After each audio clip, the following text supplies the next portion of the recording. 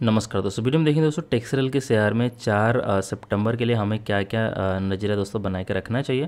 दोस्तों नोटिस कर सकते हैं, यहाँ पे टेक्सरल का हम देख रहे हैं डेली टाइम फ्रेम पे चार्ट लगा हुआ है ओवरली स्टॉक आपको क्लियरली के ऑप ट्रेड में कंटिन्यू करता दिखाई दे रहा है।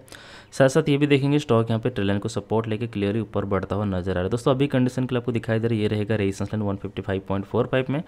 जब इसको ब्रेकआउट करेगा क्लियरली आपको ऊपर बढ़ता हुआ देखने को मिल जाएगा। दोस्तों, अगर बात करें यहाँ पे टेक्सटाइल के शेयर में नेक्स्ट ट्रेडिंग सेशन के लिए हमें कौन से कौन से लेवल से टारगेट को ध्यान में रखना चाहिए?